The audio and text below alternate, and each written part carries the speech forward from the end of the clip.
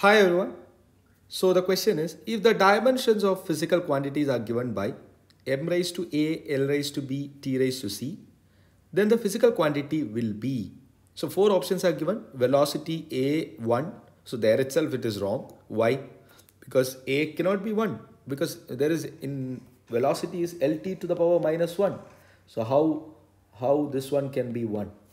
Mass could be 1. That's not possible. Acceleration again a1. That's why I'm, I'm removing that also. Force a0. That's wrong. Then pressure a is equal to 1. So m raised to 1, l raised to minus 1, t raised to minus 2. This is correct. This is correct. So pressure is, is equal to m raised to 1, l raised to minus 1, t raised to minus 2. So pressure dimensional formula correct only.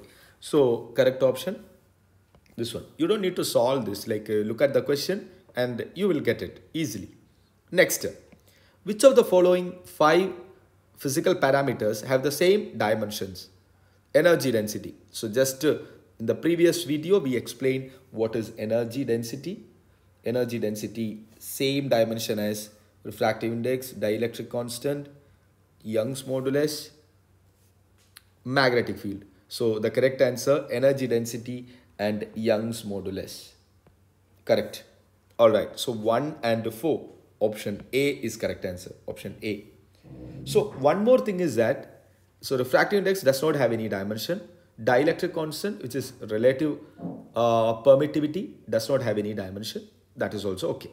But 2 and 3 is not in the option. That's the problem. They are dimensionless and also 2 and 3 not in the option. Okay. Last one. So second one is also done. Then third one.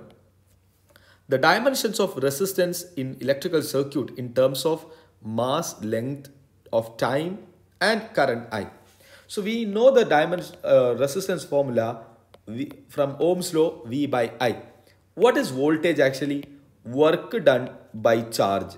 So work done by charge into current I. What is work done formula? ml square t to the power minus 2 divided by charge I into t. Here they used I for current. We sometimes we use A also. So I into t into I. So it is ml square t raised to minus 2 then t again will come t raised to minus 3 this denominator t will come on the top so then i square so i raised to minus 2 ml square t raised to minus 3 t raised to minus 3 i raised to minus 2 option c. C is correct option. Okay. I hope it is very easy question. And uh, we will meet in the next video